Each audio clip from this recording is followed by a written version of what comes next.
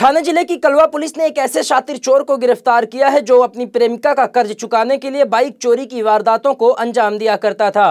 गिरफ़्तार आरोपी की पहचान गणेश महटस्के के रूप में हुई है, जिसकी उम्र 32 साल के आसपास है और वह मुरवाड के टोकावड़े इलाके का रहने वाला है।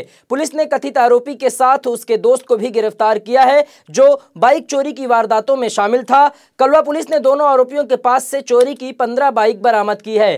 थाने पुलिस के डीसीपी गणेश गावड़े ने बताया कि आरोपी गणेश ने अपनी प्रेमिका से बहुत सारे पैसे उधार लिए थे। वहीं अपनी प्रेमिका का कर चुकाने के लिए उसने बाइक चोरी की वारदातों को अंजाम देना शुरू कर दिया। पुलिस के मुताबिक कथित आरोपी चोरी की वारदात को अंजाम देने के बाद बाइक का नंबर प्लेट बदलकर मुरवाड़ के ग्रामीण इलाकों में रहने वाले किसानों और नागरिकों को सस्ते दाम में बेच दिया करता था। दरअसल, कथित आरोपी गणेश अपने दोस्त के साथ मिलकर कलवा के अस्पताल से एक बाइक चोरी की थी। वहीं बाइक के मालिक द्वारा शिकायत मिलने के बाद जाँच में जुटी पुलिस ने सीसीटीवी कैमरे और तकनीकी जाँच के आधार पर दोनों आरोपियों की पहचान की और फिर उन्हें गिरफ़्तार कर लिया। फ़िलहाल पुलिस इस पूरे मामले की जाँच कर रही है और यह पता लगाने की कोशिश कर रही है कि कथित आरोपियों ने अब तक कितनी बाइक चोरी की वारदातों को अंजाम दिया है और उन्हें कहाँ कहाँ बेचा है।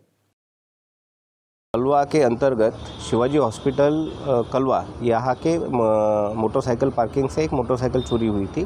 इसका इन्वेस्टिगेशन हमारे डिटेक्शन टीम ने शुरू किया। सीसीटीवी देखकर और टेक्निकल एनालिसिस के आधार पर मुरबाड तालुका के टोकावड़े के परिसर के दो आरोपियों की जानकारी हमें मिली। वो लोगों को एक आरोपी को टोकावड़े से अरेस्ट किया, दूसरे आरोपी को कल्याण कोर्ट के एरिया से अरेस्ट किया।